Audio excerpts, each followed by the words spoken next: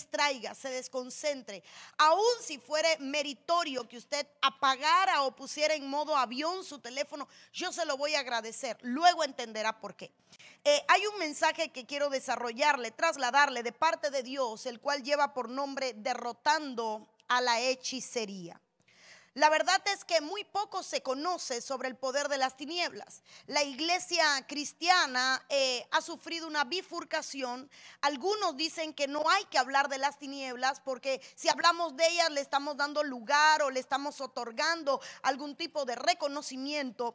Eh, y otros entonces se inclinan al lado donde se llega al misticismo y todo lo que se mueve pues representa las tinieblas. Sin embargo, la Biblia dice que la suma de su palabra es la verdad y tenemos que tener el conocimiento y el equilibrio para poder enfrentar, manejar ciertos temas que son de importancia para la iglesia de Cristo. ¿Qué es la hechicería? La hechicería no es más que el manejo del mundo espiritual. Si usted está tomando nota, así quiero que lo escriba. La mejor manera de yo resumir qué es la hechicería es decir que la hechicería es el manejo del mundo espiritual. Así como Dios llamó sacerdotes, diga conmigo los sacerdotes. Porque vemos que en el cielo habían sacerdotes. Luzbel era una figura de sacerdote. Dice la Biblia que tenía un pectoral, un efod, como una especie de efod lleno de piedras. habían piedras en su vestidura. El, sacerdote del Antiguo Testamento usaba un efod con piedra en sus vestiduras. Y vemos que las tinieblas no puede crear nada, pero sí puede imitar, trastocar la creación de Dios, cambiándole el concepto a las cosas. Entonces en las tinieblas también hay sacerdotes de las tinieblas. ¿Quién es un, un sacerdote? Una persona con autoridad, que camina en autoridad y que se mueve con autoridad. Entonces en las tinieblas hay sacerdotes que son agentes, agentes de las tinieblas con la capacidad de ministrar, ejecutar, efectuar y desempeñar tareas de las tinieblas. Hay el peor hechicero de las tinieblas es el empírico. Va a entender el por qué. Hay gente que aprendió a trabajar la hechicería. Ese fue un alumno. Pero hay gente que sabe hacer hechicería sin nunca haber estudiado. Ese es peor, porque ese fue discipulado por los mismos demonios, con un propósito mayor. Por eso hay gente que te va a contar, no, yo de niño veía, yo de niño sabía, yo de niño hacía, yo de niño tal cosa. Porque hay gente que fue discipulada por las mismas tinieblas desde que nació. Así como, como cuando nosotros nacemos, nuestros padres identifican un propósito y nos empiezan, hermano, a involucrar en la obra del Señor. Los demonios, cuando un niño nace, empiezan a ver qué nivel de sensibilidad tiene. ¿Cómo? Hay padres que experimentan a niños que ven demonios. Hay padres que saben que sus niños ven seres. Hay niños que dicen, yo vi una sombra, yo veo esto. Entonces el enemigo empieza a manifestarse para determinar el nivel de sensibilidad espiritual con el que nació ese ser. Entonces mientras un padre dice, no, no pasa nada, la tiniebla dice, descubrí que hay alguien que es sensible al mundo espiritual. Descubrí con a alguien que nació con dones para moverse en el mundo espiritual, porque ninguno de nosotros, hermanos, nacimos con la misma capacidad en el espíritu. Entonces por eso es que hay personas que consultaban, que hacían hechizos sin nunca haber estudiado, sin nunca haber sido discipulados. Hay otros que venían de una genealogía o de una descendencia de hechicería, donde los padres formaban a los hijos, los abuelos formaban a los nietos, pero hay otros que son empíricos y para mí el peor es el empírico, porque el empírico fue discipulado netamente o directamente por el mismo infierno. Ahora, pastora, ¿por qué este tema? El punto es que la hechicería se mete en la iglesia y la hechicería se mete con los cristianos. Y mucha gente cree que con decir aquella oración sin sentido, me escondo detrás de la cruz, porque detrás de la cruz no hay salvación, la salvación está en Cristo y la protección está en su sangre. Hay gente que dice, me escondo detrás de la cruz y cree, hermano, que con eso es suficiente para no ser alcanzado por cierto tipo de hechizo o de poder. Ahora, yo tengo que hablar que hay escuelas de la oscuridad que se efectúan rituales Los sacerdotes de las tinieblas hacen rituales. Algunos lo hacen con elementos, otros llegaron a perfeccionar su poder, donde ya no necesitan ni un vaso de agua, ni una vela, ni una gallina, porque crecieron en autoridad. Y esto es algo que yo quiero enseñarles. Crecen en autoridad en tal manera que a veces imaginamos que la hechicería es simplemente un vaso, un ritual, un sombrero, un disfraz. Pero hay hechiceros con apariencia normal que su autoridad es tan grande que ellos saben cómo con signos en sus manos, con oraciones, con, con hermano invocaciones, con señales o que con su sola presencia ministran lo que cargan y desatan hechizos. Entonces yo quiero, hermano, que usted pueda conmigo en esta preciosa noche aprender a identificar muchas veces como yo saber que está operando una hechicería. ¿Qué es la hechicería? Bueno, ya lo dije que la hechicería es el manejo del mundo espiritual, pero de la hechicería, hermano, vienen los hechizos. ¿Y qué es un hechizo? Un hechizo es todo acto o acción que tiene como objetivo, escuche bien, todo acto o acción que tiene como, como objetivo transformar o alterar la realidad a partir del uso, del uso de métodos de las tinieblas. Y esto quiero que lo marque porque se lo voy a preguntar más adelante. Transformar o alterar la realidad. El propósito de la hechicería es confundir la realidad. Es confundir, es cambiar, es trastocar, es alterar, es trasladar, es, hermano, trastornar la realidad. Y yo pienso que nosotros sabemos todos cuál fue el origen de la hechicería. Pero quiero llevarle al final, porque la hechicería está en el primer libro de la Biblia y en el último libro de la Biblia, dejándote el Señor entender que el mundo comenzó, la creación humana comenzó con hechicería, bajo el ataque de la hechicería y que va a terminar bajo el poder de la hechicería. Dice la Biblia y clamó con potente voz, Apocalipsis 18:2, diciendo, cayó, cayó la gran Babilonia. Se ha convertido en habitación de demonios, en guarida de todo espíritu inmundo y en guarida de toda ave inmunda y aborrecible, que es la gran Babilonia. Yo lo llamaría la universidad refugio de todos los males. Dice la Biblia que ahí estaban, hermanos, eh, demonios, aves inmundas, espíritus inmundos, todo lo aborrecible, todo lo malo estaba en Babilonia. Entonces, cuando hablamos de Babilonia, hablamos de una escuela, de una universidad de mal, de una universidad del mal. Luego dice el versículo 23 del mismo capítulo 18 de Apocalipsis, luz de lámpara nos alumbrará, más no alumbrará más en ti. Tampoco la voz del novio y de la novia se oirá más en ti. ¿Quién es el novio? Cristo y la novia, la iglesia. Ahora yo quiero que entienda lo que está diciendo. Viene un momento donde ya la lámpara no alumbrará, ¿Quién es la lámpara? ¿Quién nos enciende? ¿Quién es el fuego? El Espíritu Santo. El novio y la novia no estará. Están hablando de que la iglesia ya no estaría. Habría el rapto de la iglesia. Y luego dice, pero tus mercaderes, porque tus mercaderes eran los grandes de la tierra, pues todas las naciones fueron engañadas por tus hechicerías. Las naciones fueron engañadas por tus hechicerías. Y esto me llega a ver que el poder de la hechicería es tan grande que puede alcanzar naciones, reinos, gobiernos y puede destruir incluso a un imperio por la hechicería. Ahora vayamos al comienzo. Ando rápido para poder poner cimiento a la palabra. Dice Génesis 3:6, cuando la mujer vio que el árbol era bueno para comer, y que era agradable a los ojos y que el árbol era deseable para alcanzar sabiduría, tomó de su fruto y comió. Y dio también a su marido que estaba con ella y él comió. Yo creo que para nadie es un misterio eh, el tema del que estoy leyendo. Estoy leyendo cuando Adán y Eva estaban en el huerto. Diga conmigo, lo tenían todo. Lo tenían todo. Y de pronto aparece la serpiente sentada en un lugar por donde Eva pasaba ya había establecido, hermano, digámoslo de esta manera, había establecido un vínculo. Ya para Eva no era extraña la serpiente, ni siquiera la reprendió ni se alejó, ya era algo común. Note cómo, cómo opera las tinieblas de, de bien, hermano. Llega a convertirse tu amigo para poder infiltrarse en tu círculo estrecho.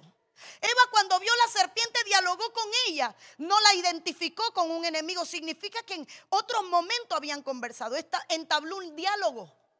Y la serpiente empezó a preguntarle, pero hay algo que me, que me llama la atención y es que como bien enseñamos al principio, un hechizo es trastornar la realidad de algo. Y de pronto la serpiente logró que a Eva se le traspasara, se le trasladara la realidad. Y Eva empieza a ver el fruto prohibido, casi digo la manzana, pero no es una manzana. El fruto prohibido lo empieza a ver como algo bueno y deseable. Le trastocó. ¿Cómo es que hay gente que el pecado lo empieza a ver como algo bueno y deseable? ¿Cómo es que hay gente que cae en el hechizo del pecado de tal manera que ya la fornicación no es mala? Que el adulterio no es malo, que la pornografía no es mala. Porque caen bajo un hechizo tan grande donde la realidad se trastoca. Y hay gente a quien usted quizás trata de explicarle que lo que están haciendo es malo, pero no lo entiende.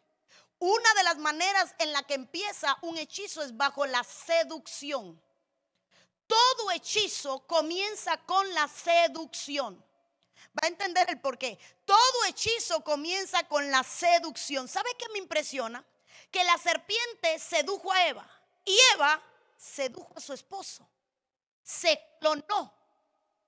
Ella repitió lo que la serpiente le hizo. Ella no se arrepintió después de comer. Ella cayó bajo un hechizo y lo llevó a su casa. Y sedujo al esposo y le dio de comer. Porque mujeres que están aquí, lo digo siempre, tenemos la capacidad de llevar un hombre al cielo o al infierno. De hacer que hermanos Dios o se aleje de Dios. De hacerlo mejor hombre o peor hombre. Esa capacidad se la dio Dios a la mujer. Y Eva llevó a su casa un hechizo. Tanto fue así que en ese hechizo empezó a desarrollarse una escuela de las tinieblas. Como pastora dice que una escuela de las tinieblas, aquellos hermanos sabían que estaban desnudos. Empezaron a coserse trajes. ¿Cómo aprendieron si nunca habían cosido? Nunca se habían diseñado un traje. Nunca habían hecho ropa. Nadie en el huerto le podía enseñar cómo vestirse. Hermanos, se esconden de Dios. Ya, ya la voz de Dios no era grata. Justifican todo con miedo. Tengo temor. Sé que la voz de Dios es fuerte. Quizás me regañe, quizás me corrija, quizás todo es con miedo. Y cuando llega Dios, la primera pregunta que le hace a Adán es, ¿quién te enseñó? Entonces el Señor sabía que Adán había caído bajo una especie de hechizo que le había enseñado a hacer lo malo. Hay gente que sabe hacer lo malo sin que nadie le enseñara. ¿Y cómo aprendió a hacer lo malo? Por hechizo.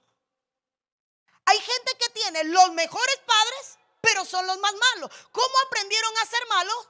Por hechizos. Y eso es algo que me impresionó, porque estamos donde estamos por un por algo que comenzó siendo una seducción. Mujer y hombre que estás aquí, que nada te seduzca, porque cuando algo te seduce, vas a caer bajo un hechizo. El hombre que era cabeza de toda la creación, era la cabeza a quien Dios había puesto sobre toda la creación, Adán, ahora de pronto se le olvidó lo que Dios había establecido. Cuando alguien está bajo un hechizo, se le olvida la palabra, se le olvida la doctrina, se le olvida las enseñanzas, se le olvida lo que es correcto, se le olvida lo que no puede perder, se le olvida la presencia de Dios. La gente que está bajo un hechizo no puede darse cuenta de lo que está perdiendo. Ahora, Quiero que vea conmigo esto, segunda de Corintios 11:3, perdí mucho tiempo en la introducción.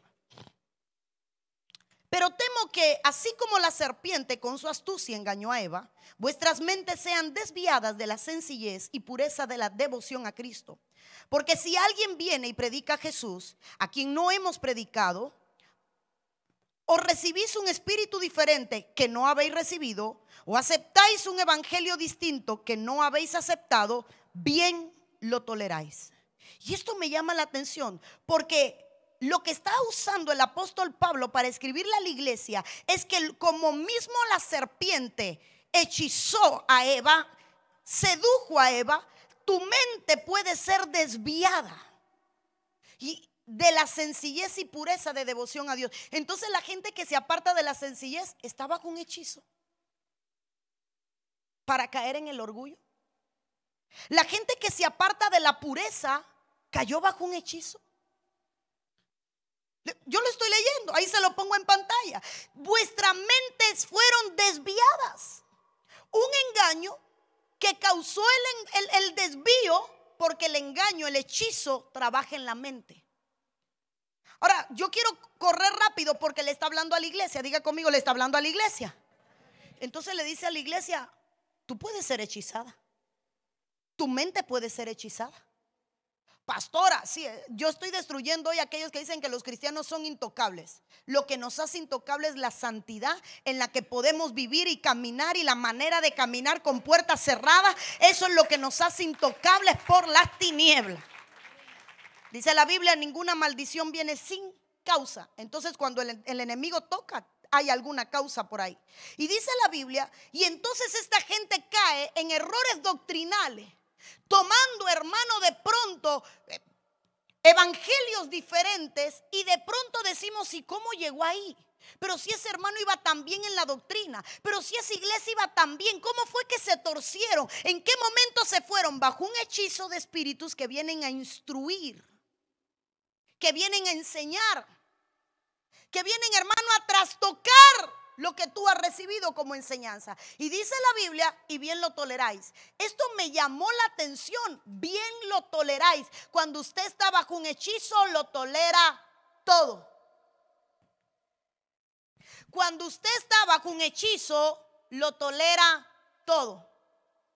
Lo repito por si alguien no lo entendió. Cuando usted está bajo un hechizo, lo tolera todo. Y esto me llama la atención, lo voy a, cuando llegue el tema matrimonial usted va a entender algo. Quiero entrar a esto.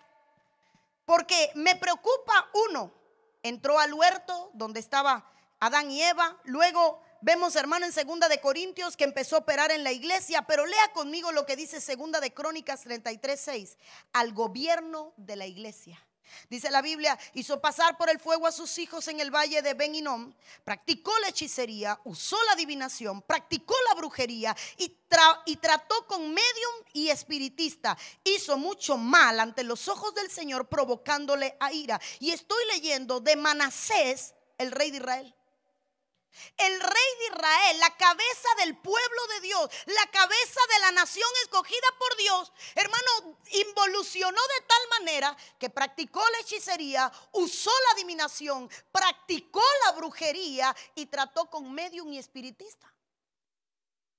La cabeza de la nación de Dios. ¿Por qué yo le estoy alarmando? Al final no le estoy alarmando, al final le voy a explicar a dónde vengo. Porque en los gobiernos de la iglesia muchas veces se puede infiltrar la brujería. Porque hay pastores, hermano, que empiezan sin darse cuenta. Pobres infelices caen en un hechizo, si líbrenos el Señor. Bajo un hechizo de aquellas que se levantan en la iglesia y dicen, yo soy profeta. Y son espíritus gesabélicos y se vuelven el oráculo del pastor. Y ya el pastor no toma decisión si la profeta no lo dice, si la profeta no determina. Hay que esperar que dice la profeta y hay que esperar que habla. Pero si tú eres cabeza, tú tienes que tomar tu decisión. Entonces, de pronto la cabeza de la iglesia, de un gobierno, cae bajo hechicería y brujería. Ahora, esto, esto es alarmante porque hay, hay herramientas que se, se pueden trastocar por las tinieblas. Voy a poner un ejemplo. ¿Te acuerdas aquellos que nos escribieron a Cuba, que fueron un retiro, creo que fue en Puerto Rico? Que los enseñaron a pedirle unción al candelabro. Los llevaron un retiro espiritual de guerra espiritual. Pusieron un, un candelabro y trajeron la palabra hermosa. Mire hasta dónde alguien sin conocimiento puede ser hechizado por una doctrina nueva. Por eso no podemos ser seducidos por extrañas y nuevas revelaciones. Y le dijeron, eh, dice la Biblia, que el candelabro es la iglesia, que ahí está la luz, que no se apagaba, es una fuente inagotable. El Señor la metió en el, en el templo, aquí está. Y ahora pídanle. Y la gente toca, hermanos, los cristianos, tocando el candelabro y pidiéndole unción. Cuando eso a quien le toca es al Espíritu Santo. Entonces, ¿cómo puede esto convertirse en un ritual de un hechizo, de una doctrina rara? Gente que viaja como viajan los brujos. Tiene que llevarse el candelabro, tiene que llevarse el cuerno, tiene que llevarse el pomo aceite, tiene que llevarse un pote sal, tiene que, y parece un exorcista en el aeropuerto en vez de un hijo de Dios. Porque ya no carga ni con la Biblia. Usted dirá, pastor, eso es raro. No. Conocí una hermana que me decía, yo viajo a todos mis retiros con una maleta de 25 libras, mi, la, bajo por, la paso por abajo porque me llevo el altar. Dije yo, bueno, se llevará las 12 piedras. Y cuando le pregunto, me dice, no, pastora, yo me llevo esto, me llevo lo. Yo me quedé, pero, pero, pero espérate, Dios no necesita un vehículo para él tocar o ministrar. No podemos convertir un rema en doctrina. Yo quiero hablarle. Puede ser que un día en un rema, bajo un rema, Dios te dice, coge aceite y úngete, pero Dios no te va a decir todos los días, empavésate de aceite, porque, porque el rema no es doctrina. Un rema es lo que sale en el momento. Un rema es el acto profético que sale en el momento. Pero yo no puedo convertir mi vida de acto profético en acto profético porque estoy convirtiendo el rema en doctrina. ¿Cuántas veces Eliseo tomó un arco y dijo, ten, tensa, golpea y da una sola vez. No lo hizo más. Eliseo no convertía sus actos proféticos en una doctrina. El rema de un momento no puede ser una doctrina. Y lo que pasa muchas veces es que hay gente que está enseñando sus remas como si fueran doctrina. Hay gente que está enseñando que esto me funcionó un día y lo voy a enseñar como doctrina. Un día empujé a alguien y Dios lo sanó y a partir de ahora hay que empujar. No, no, ese fue el rema de un momento, el respaldo de un día, pero no lo hagas doctrina. Entonces cuando usted convierte los remas en doctrina, puede y corre el riesgo, puede y corre el riesgo de convertir, hermano, su vida. Me da hasta temor predicar, meterla bajo hechizos. Hay gente que ya no depende del Espíritu Santo, lo sustituyó por remas convertido en doctrina. Hay un problema, golpea siete veces. Hermano, hay gente que tiene el cuarto que parece una tienda, un pawn shop. Arco, flecha, espada, vara, cuerno, aceite. Eh, ¿Qué más? Candelebro, candelabro, bandeja, pan, vino, un tarro de aceite, un tarro de vino, un tarro de leche. pero, pero, pero, espérate tierra de Israel, agua del Jordán, eh, aceite de, la oliva número uno. Espérate, Dios no necesita de nada de eso. Lo único que usted y yo necesitamos es la continua presencia del Espíritu Santo en nuestra vida. Ese río que fluye y que no se estanca. Entonces, muchas veces, hermano, la hechicería, la adivinación, la brujería se mete dentro de la iglesia. Hay gente que consulta más a uno que profetiza que al Espíritu Santo. Y terminan convirtiendo a hermanos con dones en medio y espiritistas porque ya el hermano está bajo presión y tengo que darle una palabra al siervo. No, no, usted no está en compromiso con nadie. Si la palabra viene, la da. Y si no la da, qué lindo decir, no tengo nada para darte. Qué hermoso decirle, tráncate a orar a ver si Dios te habla. Qué hermoso decir, a mí Dios no me ha confirmado lo que tú me dices. Qué lindo decirle a alguien, recibo la palabra, ahora voy a esperar que Dios me confirme. Porque la profecía no viene para dar dirección. La profecía viene para dar confirmación de lo que ya Dios habló en tu vida. Así que cuando Dios te habla, Dios profetiza para confirmarte, pero no para dirigirte. Porque la dirección en nuestra vida viene por el Espíritu Santo. Entonces, hermano, cuidado. Porque Manasés era un rey. Y terminó siendo seducido por la brujería. Porque, hermano, seduce. Perdóneme, aquí usted no va a ser seducido por nada. Pero si yo tuviera una bola de humo. No, no es una bola, es un aparatico, ¿verdad? Que echa humo. Con efectos especiales. Si apagáramos las luces Qué, atractivo, qué seducible. Si pusiéramos unos cuantos sonidos eh, pack innotantes en, en, registros que alteran nuestro oído. No, eso parece un mosquito. Eh, mm, hay frecuencias que te... Hay sonidos que te hipnotizan. Entonces, cuidado porque eso se puede meter en la iglesia. Cuidado porque, bueno, lo enseñamos cuando hablábamos, hicimos la serie sobre el espíritu de Atalía, el espíritu de Grecia. Les recomiendo, hablamos de cinco espíritus que se metían en la era moderna dentro de la iglesia. Y hablábamos de la escenografía, hablábamos de todo esto nuevo del teatro, cuando el altar se convierte en un teatro. Mire, ¿cuál era el humo que había en el tabernáculo? El del incienso. Entonces, ¿qué era el incienso? Hoy lo cantamos, es una adoración. El humo es una adoración. La fragancia, hermano, es una adoración. Entonces, cuidado porque muy fácil es que en las iglesias se metan estas prácticas raras. Métele una botella de aceite por la boca para que sea libre. Eh, métele sal para que... Hermano, perdón. No podemos quemar los recursos espirituales ni convertir los remas en doctrina. Un día unja su casa, pero usted no se va a levantar todos los días a ungir su casa. Un día compré un carro nuevo, lo voy a consagrar, Señor, es tuyo ese día. Pero no te levantes todos los días. El motor está malo aceite. No, chico, ve al mecánico. Paga invierte, no seas tacaño. Pero todo no es espiritual. Pero el punto está cuando hay gente, recuerde que dije al principio, una iglesia bifurcada, con una gran bifurcación donde hay gente que se inclina a todo lo ultra mega espiritual y termina convirtiéndose tristemente en gente, ando buscando la palabra, sensacionalista. Gente que todo tiene. A todo hay que buscarle una doble causa para sentirme que soy el más espiritual. Espíritu de, lámpara que se mueve, espíritu de ventilador que no funciona, espíritu de... Sí, diablo, suelta el audio, apaga el botón o enciende el botón. A veces que no está conectada la consola, todo no es el diablo. ¿Está usted aquí o se me fue? El diablo está en el televisor, no se enciende, revisa el cable hermano, está aquí, está hablando con una mujer que cree en el mundo espiritual, pero que le teme a que de pronto nos desviemos en las cabezas de gobierno. Esta era la cabeza del pueblo de Israel, Manasés. Sigo, mire este qué lindo. Segunda de Reyes 9:22. Y sucedió que cuando Joram vio a Jehú, dijo, ¿hay paz, Jehú? Y él respondió, ¿qué paz? Mientras sean tantas las prostituciones de tu madre Jezabel y sus hechicerías. La hechicería de Jezabel era por medio de la prostitución.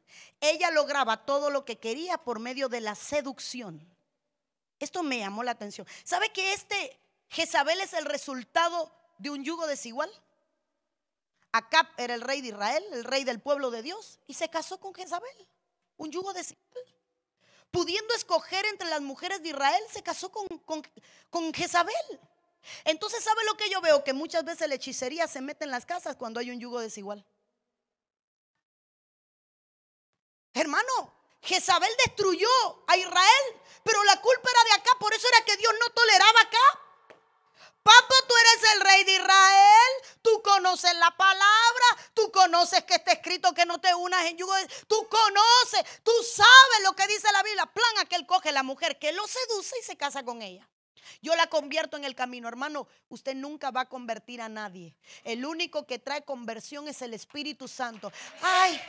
Ay, pero el muchacho es bueno. Ay, pero en el proceso se endereza. Si usted se casó con algo torcido, prepárese para sufrir. Si usted se casó con un producto no terminado, no procesado, sepa que va a tener que pasar el desierto en medio del proceso de su cónyuge. Entonces Isabel era el producto de un yugo desigual que metió, hermano, la hechicería en el poder. Que metió, hermano, la hechicería dentro del reino de Dios. Entonces, ah, me da temor hablar esto. ¿Cuántos pastores se habrán casado con hechiceras?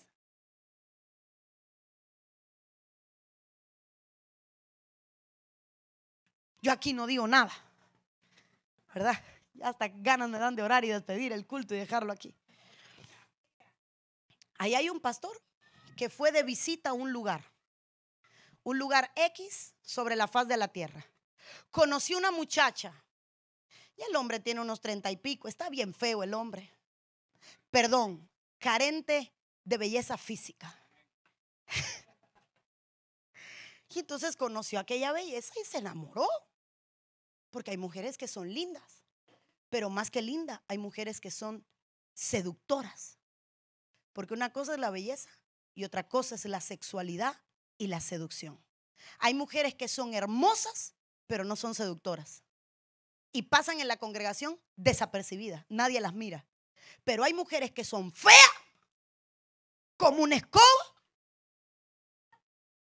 pero seductora. Y tienen la iglesia revuelta. Aquí no pasa bendito el Señor. Bueno, este pastor fue, conoció a aquella mujer, le predica, se la topa en una cafetería, le predica, la convierte y se casa con ella. En un mes. Cuando termine el culto te digo el nombre. Pues tú lo conoces, pero te perdiste. En un mes le predica y se casa con ella. perdón, un pastor no puede casarse con alguien que lleva un mes de convertido. Hay demasiado que llevar, demasiada carga. Es esa persona que lleva el matrimonio. Tú no eres David, que se casó con una que creyendo que por ser hija del rey era santa y le tenía ídolos modernos metidos en el, en el cuarto. Y que cuando David se fue por la ventana se lo puso en la cama. ¿Y sabe que es un ídolo doméstico? Que dije moderno, es doméstico. Son los ídolos grandes que se metían dentro de la casa, no eran los ídolos de mover, porque habían ídolos que eran de transportar, eran los pequeñitos que se echaban en las bolsas, en las carteras, en los animales, pero estaba el ídolo doméstico, que era el ídolo grande que estaba en la casa porque no se movía. Ahora, esta mujer tenía ídolos domésticos y cuando David se va lo metía en su cama para abrazarlo, para, para calentarse, no sé, pero lo metía en su cama y era la hija del rey de Israel. Entonces, cuando yo miro esto, hermano, hay hogares que pueden tener una hechicería infiltrada o hay hogares donde hay sacerdotes que están peleando con la hechicería dentro de su casa. Imagínense que usted es cristiano y su suegra bruja. Y que le cae... No, hermano, no diga santo. Aquí hay gente que lo está sufriendo. Y le llegó la vieja bruja y en vez de echarle sal a la comida le está echando cascarilla. Y usted orando por su esposo para que se convierta y la vieja orando por el esposo para que la deje usted. Y hay una guerra de, altares dentro de la casa. Hay gente que viene de visita a hogares solamente a hacer trabajo de brujería, a trabajar la ropa, a trabajar la cama, a trabajar recursos. Y usted podrá, ay, Jehová reprenda al diablo. No, pero ¿está teniendo usted la actitud de un sacerdote? Porque si no, esa hechicería se está cultivando. Esa hechicería se está cultivando. Jamás olvidaré el caso que me trajeron, que me tocó atender, nos los llevaron a Cuba, viajó la mujer desde, ¿de dónde Rosa? Ahí dije su nombre, ¿de dónde es ella? Bueno, Rosa es cualquiera. Mejor ni decimos el lugar, ¿verdad? Ya vive por allá. Y llegó a nuestra iglesia, el hijo loco. Nos llevó una hermana que tenía el hijo loco. Vino una amiga. La amiga le fue a ayudar a atender la cama. Yo quiero que usted escuche atender la cama. Llegó al cuarto, tendió la cama. El hijo llegó por la noche, se acostó en la cama, sintió un calor que le quemó la espalda. Mamita, ¿qué le echaste a la sábana? Nada, mi amor, hay algo en el cuarto, me quemó la espalda. Lo revisaron, no hay nada. Sí, mami, tengo quemadura. Lo revisan, no hay nada. No, hijo, está bien. Al otro día el muchacho se levantó loco hasta el sol de hoy. Y cuando la hermana se metió en un ayuno, Dios mío, revélame. El Señor le hace ver, quien tendió la cama, trabajó la cama y le enloqueció al hijo. Por eso es que a tu casa no puede entrar todo el mundo, porque tu casa es un santuario, no un parque, hermano. Tu casa no es Disney, tu casa es un santuario. Por eso es que tu, tu cuarto es tu cuarto, no la sala. No es para atender visitas, donde tú tienes intimidad. Tú, tú no puedes estar. Es que, mira, hermano, no sé si predicar o no, porque ya de verdad que el tema se va subiendo de, de, de ya vamos por la rayita. Cualquier momento YouTube pita. Tenemos que tener cuidado porque en la casa del rey Acab, esta Jezabel lo sedujo y se metió en el reino.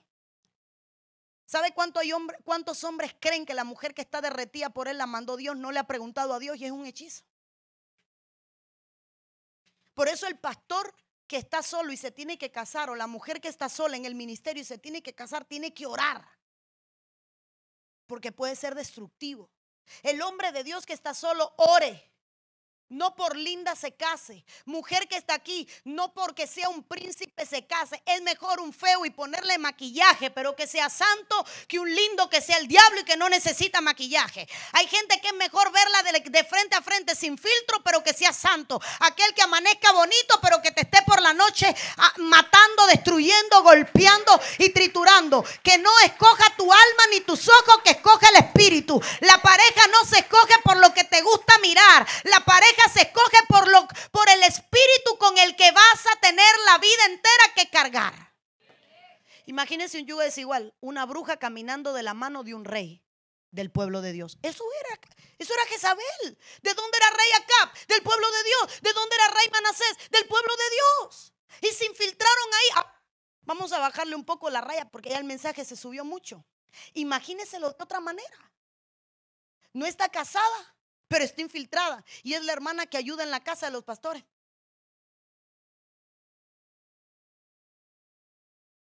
Vamos a llevarlo a otro nivel. No es la hermana que ayuda, pero es la que se cree profeta y todos los días tiene una palabra, pero nunca Dios se la confirma al pastor. Y de pronto el pastor está tan desconectado de Dios que empieza a creer que esa hermana es un oráculo.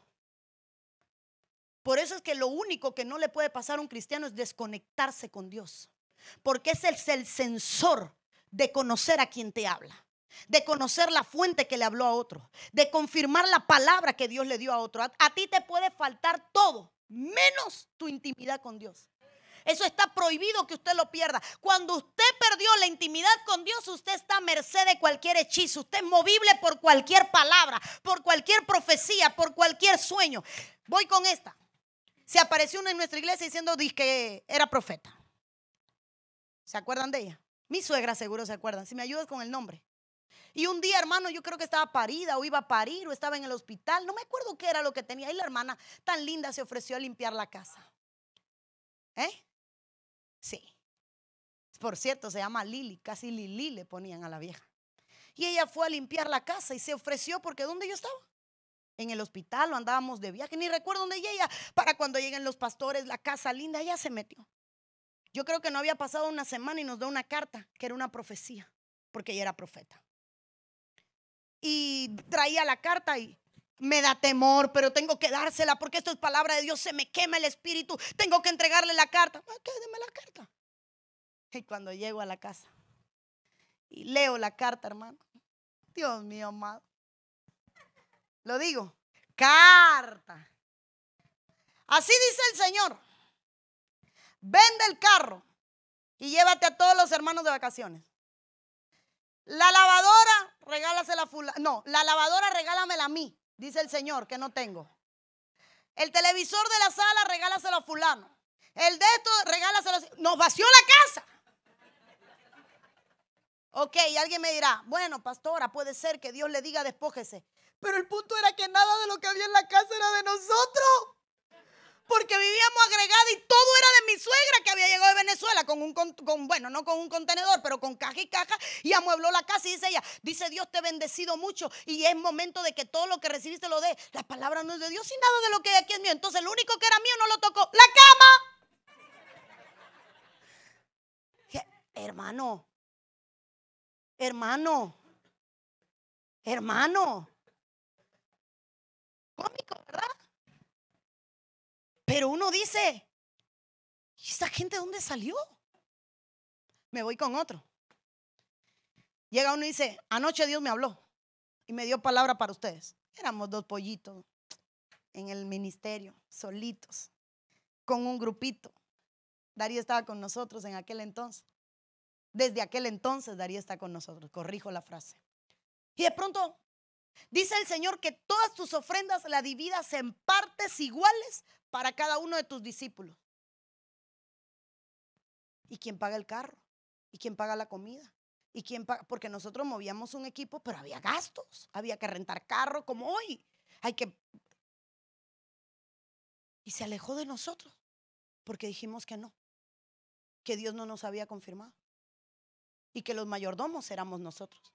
Y hasta que Dios no nos dijera cómo manejar las finanzas, nosotros no nos movíamos por palabra de hombre se alejó. Bendito Dios, después de 10 años, tuvo que regresar y reconocer su error. Después de 10 años. Entonces, hermano, siempre va a venir gente que el enemigo manda a tratarte de mover. ¿Sabe cuánta gente se ha casado porque alguien le dijo, esta es tu mujer? Pero Dios no se lo dijo. ¿Sabe cuántos pastores jugaron al casamiento? Dios me mostró que esta es la tuya. Arriba, agarra. Dios me mostró. ¿Sabe cuántos pastores divorciaron para casar a su antojo? Ahí está el chat abierto. Ahí hay gente que me va a decir, esa muchacha me gusta. Yo, conozco una familia que el pastor se enamoró de un muchacho para su hija. ¿Por qué me miras así? ¿Se me acabó el tiempo? Sí. Ah. Ah, yo pensé que, que me estabas haciendo señas. Esa fue la clase de ayer. Bueno, pero yo no estuve en tu clase. En la mía yo hablé de las siete marcas de un conquistador. El caso es que, el caso es que, el pastor le gustó el muchacho, santo, bueno, inmaculado, lindo, puro, con familia en el extranjero, en Estados Unidos, le mandaban remesa, tenía ropa, zapato, bicicleta, motorina. Este es el que quiero para mi niña. Y llegó un día al culto y dice, hoy vine con un manto profético y le dice al muchacho que ya estaba orando con una muchacha. Y le dice, esa no es la muchacha que Dios quiere para ti. Y dice Dios que si te metes ahí te vas a destruir. Plum, y separó al muchacho a la muchacha. Y al otro día consejería. Y en menos de 15 días dice Dios que me mostró que te tienes que casar con mi hija. Yo conozco al pastor y yo conozco el caso. perdón, hermano. ¿Cuántas veces la hechicería se mete en el gobierno? No, no, no, no, no. ¿Para qué voy a hablar eso? Retiro de jóvenes era una cacería de soltero el buzón del amor. Mándale carta al que quiere y ya estamos empatando gente. No podemos jugar al hechizo. No podemos jugar a mira, lo que lindo, qué bueno. Hermano, no hechice a sus hijos con la pareja que usted quiere. Padre, que el niño me gusta. No hechice a sus hijos porque hay suegras que son buenas para hechizar. Es que, es que esa es la que Dios tiene para ti. Es que si la vieres, no, que te guste a ti no significa que sea lo que Dios tiene para esa persona. Entonces uno tiene que tener cuidado. Porque la hechicería se puede meter en las casas, la hechicería se puede meter en el gobierno, la hechicería se puede meter en el poder. Y era una hechicería de seducción. Hay gente que seduce. Yo le tengo temor a las voces dulces. Yo amo la voz de mi pastor y amaba la voz de mi pastora. Qué mujer para ser directa. Comía en la boca. Me llama, Liney, haz esto, no hagas esto, mira, pasó esto, ¿qué vas a hacer? Haz lo otro. Lindo ya, pero hay gente, hermano, que viene a darte vuelta y te seduce. Padre, que tus hijos no te hechicen, no trastoquen tu realidad. Que el corazón de padre, el corazón de padre puede ser muy fácilmente hechizado por hijos manipuladores. No te dejes hechizar. Pídele a Dios la revelación de saber qué es correcto, pero no te dejes mentir, no te dejes hechizar. Segunda de Timoteo 3:8, Dios mío, se me fue el tiempo y no sé por qué rindió tan poco. Y así como Janes y Jambres se opusieron a Moisés, de la misma manera estos también se oponen a la verdad, hombres de mente depravada, reprobados en, la, en lo que respecta a la fe. ¿Quiénes eran Janes y Jambres? En algún momento voy a hablar de ellos. Ellos representan espíritus de oposición que están metidos en el poder, que están metidos en el gobierno y que se oponen a las autoridades. Janes y Jambres eran, eran hechiceros, eran personas que practicaban el ocultismo dentro del gobierno de Egipto. Y de pronto llega Moisés a predicar la palabra, a, decir el mensaje de Dios. Es momento de libertar al pueblo. Y Janes y Jambres son los que resaltan, los que se opusieron a él. Usted recuerda que habían brujos, hermanos, y hechiceros que convirtieron las varas en serpiente, que los llamaban a los sueños, a los conjuros. Pero los nombres que resaltan saltan eran Janes y Jambres. Entonces, Janes y Jambres no eran cualquiera, era el sinergismo de dos sacerdotes de las tinieblas. Y esto voy a hablar. Si es muy peligroso que un sacerdote se infiltre, más peligroso es que dos se unan. Si peligroso es que un, que un sacerdote trabaje en las tinieblas, más peligroso es que dos se unan. Y entonces Janes y Gambres representan espíritus sacerdotales de las tinieblas que se oponían a Moisés, que venía como sacerdote a liberar al pueblo. Y dice la Biblia, los describe, dice que se oponían a la verdad. Hay gente que usted dice la verdad y se opone y te dice que es mentira, es mentira, es mentira. Pero aquí está la evidencia, es mentira, es mentira. Pero mira si aquí está, no, es mentira, cuidado. Porque ese era el poder que tenía Janes y Gambres Se oponían a la, a la verdad. Mi amor, pero yo te vi con la mujer. No, mi amor, era una compañera de trabajo que le estaba dando un ray. Pero yo te vi en la cama, le estaba dando un masaje. Pero mi amor, estaban los dos desnudos. Es que estaba de quiropráctico. Hermano, hermano. Janes y Cambre son espíritus que se oponen a la verdad pero son sacerdotes de las tinieblas, metido en la política. Cada vez que Moisés iba a hablar con el faraón no llegaba, porque Janes y Jambres se oponían. Entonces hay veces Hay veces que en la iglesia se meten hechiceros a impedir que usted llegue a la cabeza. Por eso es que nosotros nos gusta ser tan accesibles al pueblo. Por eso es que usted tiene nuestro WhatsApp, además de que no lo puede compartir ni dárselo a más nadie, pero usted lo tiene. Y si es hijo de la casa y lo tiene para escribirnos, para decirnos, para acceder a nosotros. Ah, no le garantizo que le respondamos por cuestión de tiempo, pero lo tiene. Lo tiene. Hay pastores que nadie llega a ellos y tienen un janes y jambres adelante que determinan a quién atender, a quién no atender, a quién hablar, de quién no decir. De... No, no, no, no, hermano. Se puede meter hechicería a niveles de gobierno. Se puede meter hechicería a niveles de gobierno. Entonces, eh, voy a adelantar porque ya el tiempo se me fue. Tengo preguntas. Sí tengo. Déjame correr. Gálatas 3.1, el más clásico, ¿verdad? Gálatas insensato, ¿quién os ha fascinado a vosotros? Ante cuyos ojos Jesucristo fue presentado públicamente como crucificado. Esto es lo único que quiero averiguar de vosotros. ¿Recibisteis el Espíritu por las obras de la ley o por el oír con fe? Me da miedo meterme en este punto porque se me iría la noche, pero lo pongo así lo pongo de esta manera hermosa. Los Gálatas habían quedado bajo un hechizo. Esta versión no me gusta, dice, oh Gálatas insensato, ¿quién os ha fascinado? Pero a mí la versión que me gusta es quien los encantó. Por eso es que los cristianos no podemos usar la palabra encantó, debemos eliminarla. Porque cuando usted va a buscar la palabra encanto, la palabra encanto es un conjuro, es un hechizo. Lo que pasa es que nosotros, los hispanos, como se nos acaba el español, queremos inventar más y le buscamos otras aplicaciones a palabras que no tienen el concepto. Y qué bueno está esto y me encanta y me encanta y me encanta, esa comida me encanta y ese traje me encanta y esto me encanta. No, no, no, yo no vivo bajo un hechizo. A mí la comida no me hechizó, a mí el vestido no me hechizó, a mí me gustó, está lindo, está hermoso, me gustó, eh, pero no hechizar. Entonces, cuando Dios confronta a los Gálatas, le dice, ¿quién te hechizó? Pero verso 2, te voy a hacer una sola para sacarte del hechizo. ¿Recibiste el Espíritu por las obras de la ley o por el oír con fe? Y en este punto no me da tiempo a entrar, pero se lo voy a pincelar. ¿Sabe cuánta gente que vivía bajo la gracia renunció a la gracia por la ley? ¿Cuánta gente se torció al mesianismo y dejó la gracia? Cuando la Biblia dice que la ley no pudo salvar a nadie, por eso Dios tuvo que traer un mejor pacto. Y en ese mejor pacto se cambió la ley, porque cada vez que había un cambio de sacerdote, la ley tenía que ser cambiada. Así que cuando Dios cambió el sacerdocio al sacerdocio de Melquisedec, se cambió la ley. Y la ley que opera en el sacerdocio de Melquisedec está en Mateo capítulo 5, que son los mandamientos del Hijo, y la ley del Espíritu Santo que está en la en los evangelios y en el Nuevo Testamento. En el libro de los Hechos en adelante. Entonces hay gente que se tordó, hay gente que empezó con un chalón y luego terminó con un no y luego empezó a descarriarse y de punto ya la luna no, espérate que, el, que el, reposo, que, que el viernes, que el, espérate, mi reposo es Cristo. Mi reposo es Él, mi reposo es entrar en la intimidad. Mi chava es todos los días, mi chava es cada vez que oro, mi chava es cada vez que aparto un tiempo para Él. Pero hay gente que fue fascinada por una doctrina y renunció a lo que ella había recibido. Ten cuidado, hermano. Somos fácilmente enamorables. Yo voy a traer un, un estudio dentro de muy poco de los cinco recursos que se usan para hipnotizar, cautivar y encantar.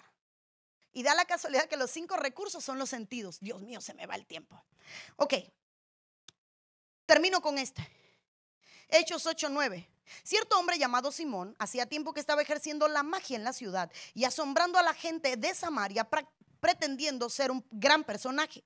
Y todos, desde el menor hasta el mayor, le prestaban atención diciendo, este es el que se llama el gran poder de Dios. Le prestaban atención porque por mucho tiempo les había asombrado con sus artes mágicas. Quiero que note, versículo 10, se perdió el puntero, no se lo puedo señalar, pero en el verso 10 dice, este es el que se llama el gran poder de Dios.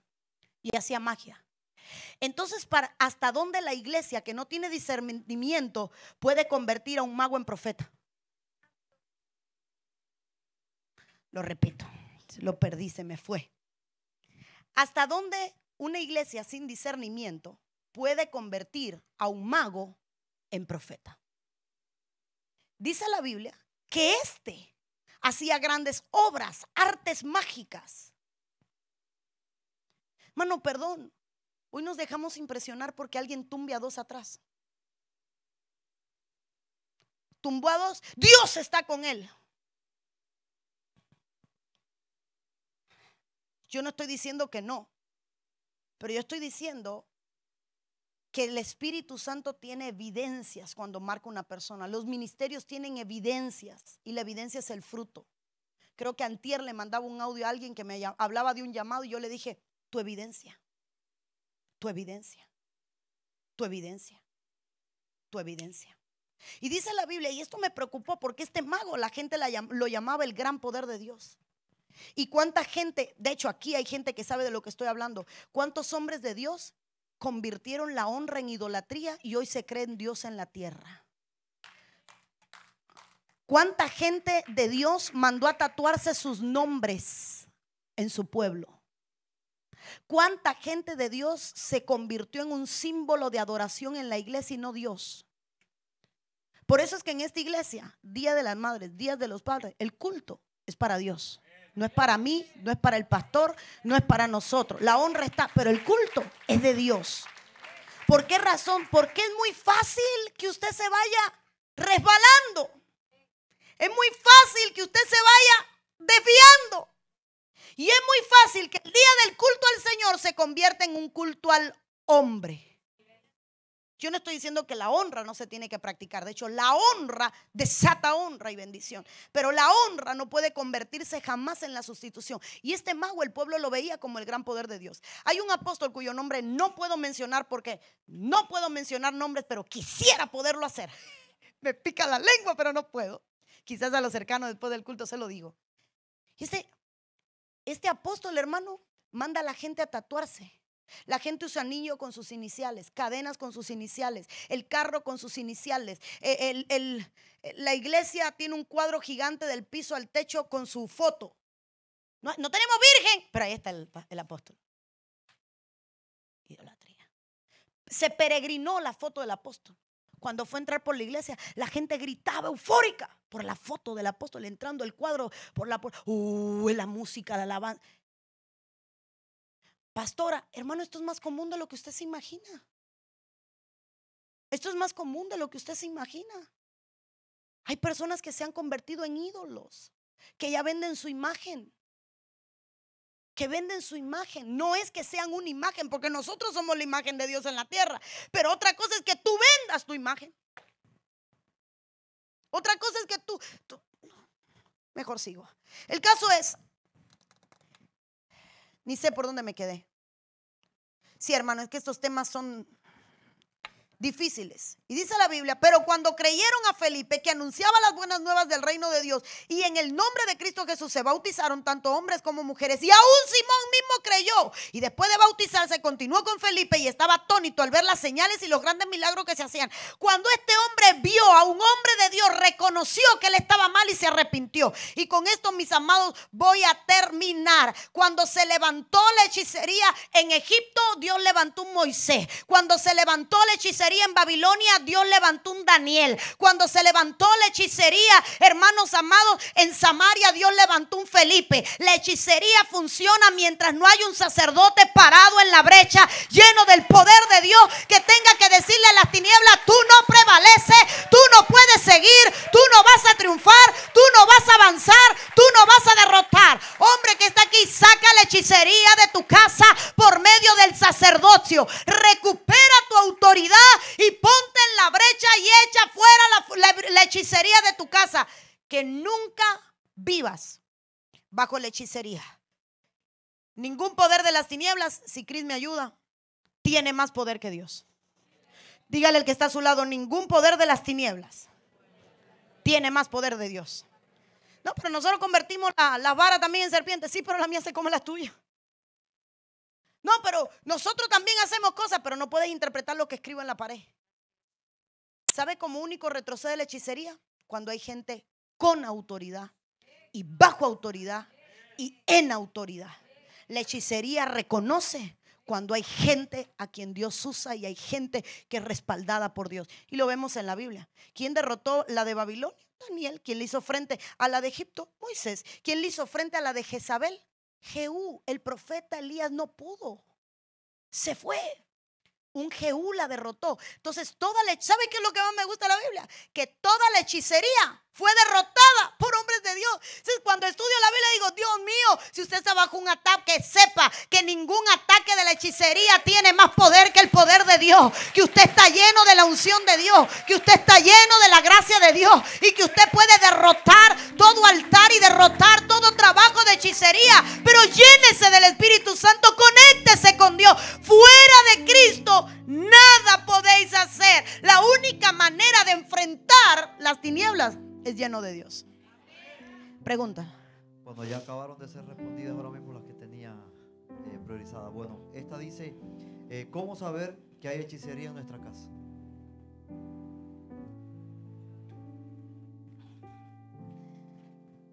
Cuando hay cosas que no son normales. Mire, yo atendí una vez un hombre. No, no. ¿Estabas tú, Boris? Fue Brian. El viejito creo que estaba conmigo. El hombre que llegó dando grito porque amaba a su esposa, pero no podía llevarla a la cama. ¿Fuiste tú? Fue el viejo. Llegó a nuestra iglesia un hombre dando gritos, gritos. No, no es que, pastora, vengo a hablar con usted. Dando gritos. Un matrimonio de 15, 16 años. Loco enamorado de su esposa. Pero no la podía ver en la cama. Le entraba algo. La veía fea. La, dice, pastora, le veía verrugas que le salían de la cara. Le veía los ojos deformados, la, veía en un demonio. Él estaba bajo una hechicería. Y él lo sabía porque había cometido un error, a lo que él llamó un desliz, pero que la Biblia llama una fornicación. Y se acostó con una mujer que lo hechizó.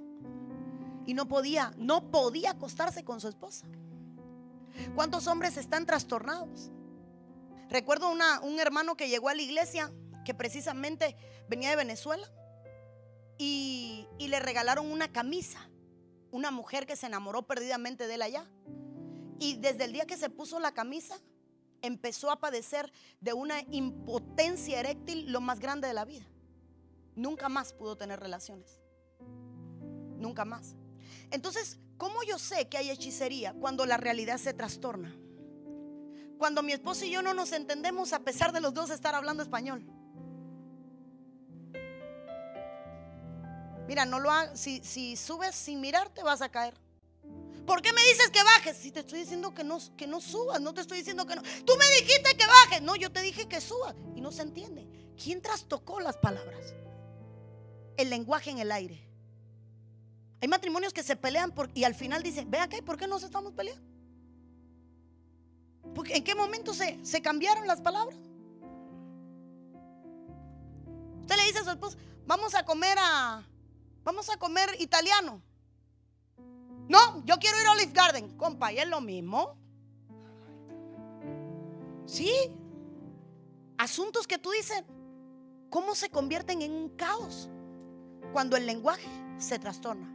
Cuando el esposo mira a la mujer y la empieza a ver como un ogro. O su enemigo, cuando en realidad es su media mitad. O cuando la mujer mira al esposo como un tirano cuando en realidad es un hombre poniendo orden. El hombre que disciplina a los hijos y ella de pronto, es que tú eres un... Cuidado, porque un hechizo lo que hace es trastocar la realidad, cambiar la realidad y mover el mundo espiritual. Mano, hay hogares donde las cosas se mueven de su lugar. Hay hogares donde las puertas se abren y se cierran. Solas, claro. Obvio, si no se abre y se cierra la casa, usted está trancado. Me refiero a se abren y se cierran solas. Hay hogares donde las camas rechinan. Hay hogares donde la gente siente que hay presencia y que se sientan en su cama. Hay hogares, donde, es que hay tanto que decir. Hay hogares de... Yo me recuerdo que, oramos por una, por una familia que estaba en una casa donde todas las mañanas la puerta del niño tenía sangre. Y ponían cámara. Y aparecía la sangre. Entonces, hay cosas. En República Dominicana, ¿hay aquí algún dominicano? Ahí hay uno, Dios te bendiga, hijito. En República Dominicana hay una casa que le pagan a la gente para que duerma adentro, porque amanece afuera. Se acuesta a dormir en la cama y cuando abre los ojos está durmiendo fuera de la casa. ¿Por qué Dios le dice a Jericó? Me alargué demasiado en esa pregunta. ¿Tengo más? Para cortar. Ok. ¿Por qué Dios le dice al pueblo de Israel denle siete vueltas a Jericó y no hablen. Porque era espiritual. Porque el escudo que protegía a Jericó era espiritual. Porque ese escudo no se iba a derrotar ni con, con nada. Era espiritual. Dijo, cada vuelta van a estar rompiendo. Y por último, la alabanza va a romper. Estaban rompiendo la hechicería de Jericó. ¿Qué es Jericó? La luna. Y hay una diferencia entre la astrología y la astronomía. La astronomía es estudiar los astros y la astrología es estudiar los astros con fines religiosos. Entonces, en Jericó se practicaba la astrología, la, la luna, la diosa luna. Y cuando llegaron a Jericó no podían entrar. Jericó, ahí sabemos que estaba, hermano. ¿Se acuerda aquella que recibió salvación? Ra. Era un lugar de, de, de, fornicación, de. Era algo normal. Y esta familia de que vive de Ra, la ramera, nosotros vivimos de ella. Dice que toda su familia vivía de, de su prostitución. Era un negocio en la casa y era algo normal. Eso era Jericó. Entonces cuando, cuando llegan a Jericó no podían pelear una guerra normal como las otras conquistas. Ahí había un escudo espiritual. Y tenían que actuar de una manera espiritual. Y en algún momento le voy a enseñar por qué Dios le dijo enmudece. Porque una de las cosas que yo entendí es que Dios le dijo no abran sus labios. Perdón, eso es yo pensando en voz alta. Un reman, una doctrina. Yo pensando en voz alta, Dios le dijo no abran sus labios porque hay conjuros alrededor del muro. Porque hermano, hay lugares que están embrujados, que están encantados, hay conjuros. Por eso tenemos que cuidar tanto nuestros oídos, de no escuchar todo de no hablar rápido, de no responder. No se le puede gritar a todo amén. Uno tiene que aprender a ser sensible. Uno tiene que aprender a ser, esto se va a oír feo, a discernir. Discernir. Porque hay veces,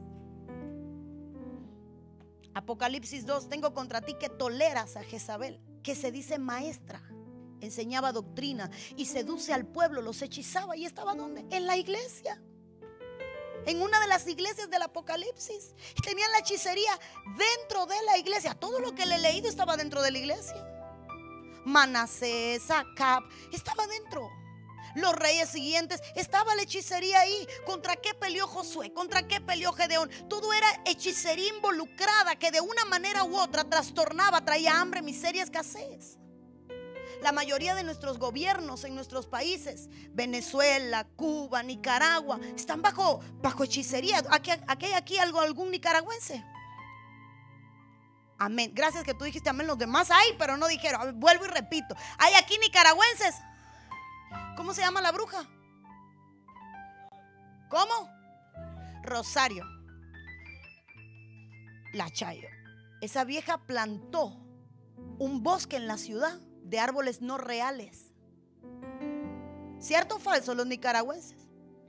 ¿En el, ¿Cómo? Los chayopalo. Y son, y son parte de su ritual. Tomó el centro de la ciudad.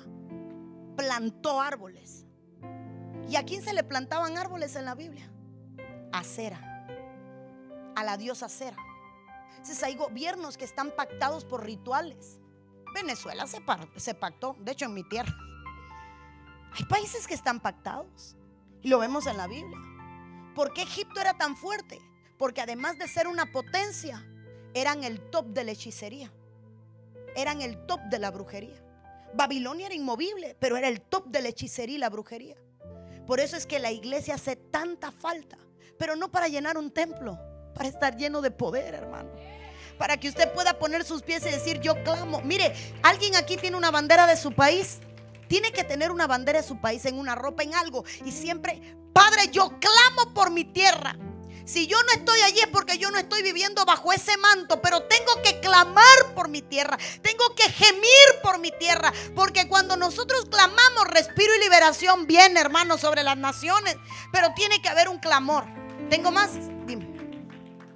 Dice esta, eh, es de Dios el derramar Santa Cena en las esquinas de la casa. ¿De la qué? De la casa. Santa Cena. ¿Y quién se la va a comer? Los ratones dijeron. Al parecer preguntando como alguien lo hace, al parecer. Pero, Señor amado, la palabra se... Todo tiene que ir a la palabra. Yo no puedo enseñarle a usted de Júpiter si no está en la palabra. Yo no puedo decirle que hay un espíritu que se llama chichimichillo si no está en la palabra. Todo tiene que estar en la palabra. Ahí está todo. No hay que buscar en más lados. Ahí está todo. Entonces, ¿cuándo en la Biblia se derramó el pan y el vino en la esquina de la casa? De hecho, si lo fuera a hacer rema, donde único se la sangre fue en el dintel de la puerta, ni siquiera en las esquinas. Y lo que estaba diciendo es enséñale a sus generaciones que esta es la Pascua. Y viene Cristo y dice, yo soy tu Pascua. Lo que dijo Cristo ya no tienes que poner sangre en tu dintel. Yo soy la sangre en tu dintel. Ya no tienes que derramar sangre en tu casa. Yo soy la sangre que marca tu casa. Ya no tienes que poner una señal visible. Yo soy la señal visible dentro de tu casa. Yo soy tu Pascua. Es que todo está en la Biblia. Nada en la palabra. Nadie ahí. Léala. Comas el rollo, estúdiela. Dígale al Espíritu Santo que le hable.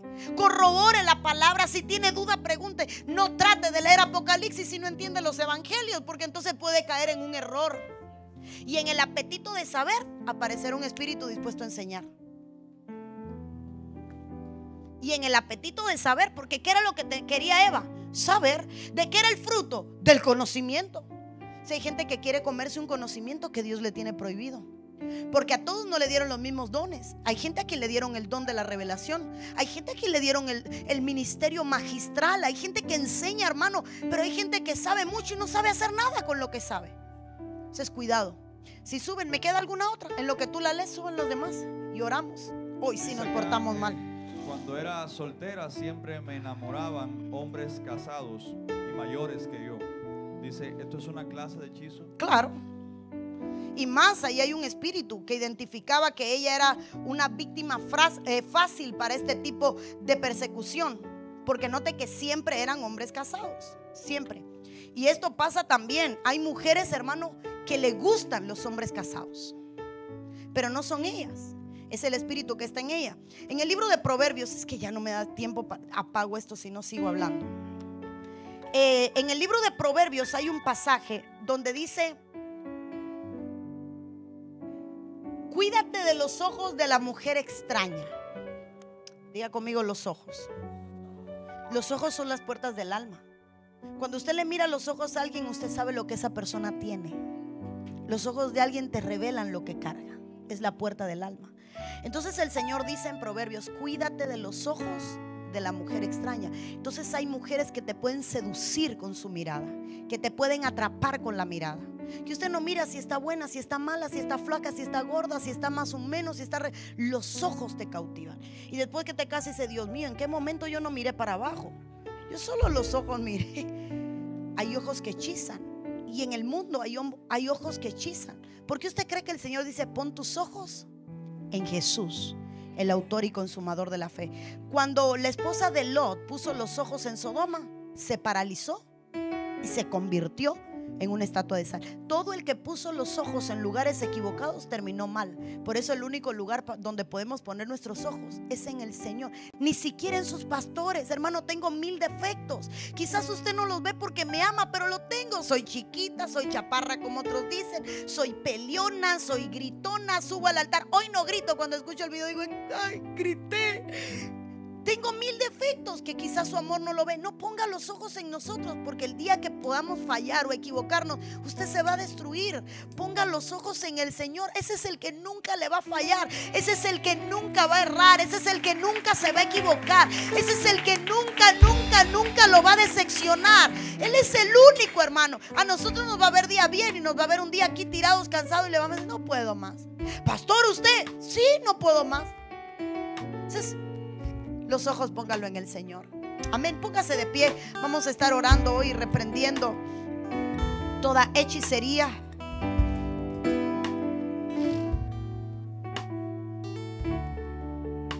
Padre, en el nombre de Jesús. Ahí donde está, yo quiero pedirle que se ponga en ton de guerra. Que se ponga, hermano, en un espíritu violento. Que se ponga a empezar a hablar sus lenguas.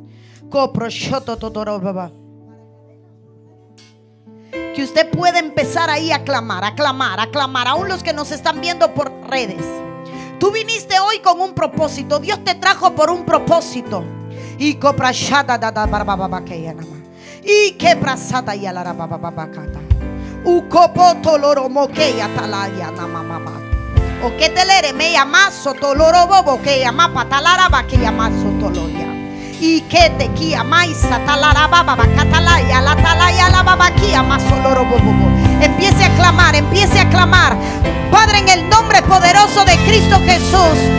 Hoy estamos tomando autoridad sobre toda hechicería, sobre toda hechicería contra esta casa, contra esta iglesia, contra la iglesia de Cristo, contra la casa de tus hijos, en el nombre de Jesús, contra todo matrimonio, contra los hijos de ministros, contra los ministros, contra pastores, contra ministerios, contra gobierno, contra reino, contra naciones. Y en el nombre de Cristo estamos cancelando, lo veo muy pasivo, para estar en una guerra. Cambie de actitud y clame, cambie de actitud y pelee, cambie de actitud y empiece a guerrear, empiece a guerrear. Hay poder en el nombre de Cristo. Hay poder en el nombre de en su nombre hay poder, hay poder. Algo que se está rompiendo en la atmósfera. Pelea por tu casa. Cadenas romper, cadenas romper. Para cadenas romper, cadenas romper,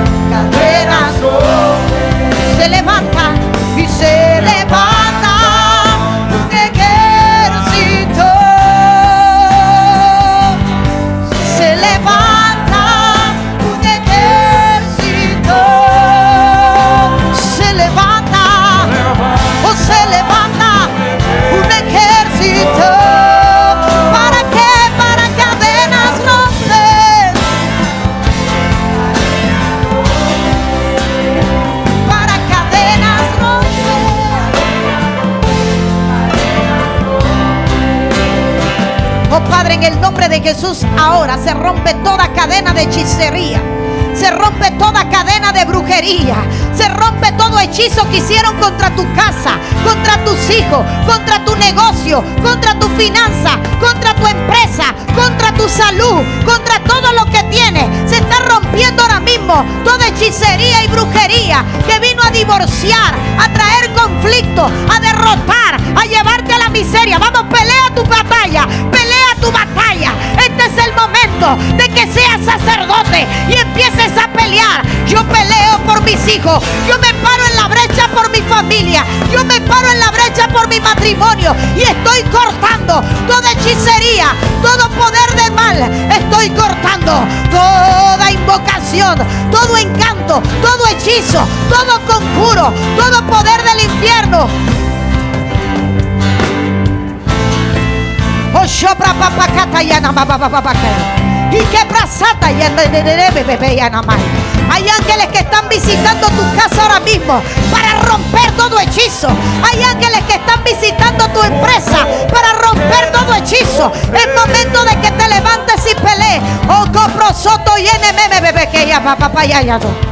Oh, copra sata yana. En el nombre de Jesús. Vinieron a recibir, pero les voy a dar una palabra. Hay alguien que se levantó dentro de su iglesia y se han preguntado por qué han visto un estancamiento en la obra que Dios le ha dado. Una obra que crecía, se fortalecía y la han visto detenerse. Han sentido golpes en el mundo espiritual que han estado golpeando la iglesia.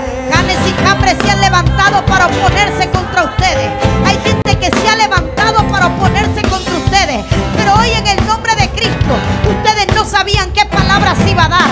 Yo no sabía que ustedes venían. Pero así me dice Dios. Hay un hechizo que delegaron, que soltaron para que seas infeliz, incapaz, sufrida. Para que alcanzara a tus hijos. Para que apresara a tus hijos. Y hoy ese hechizo se rompe en el nombre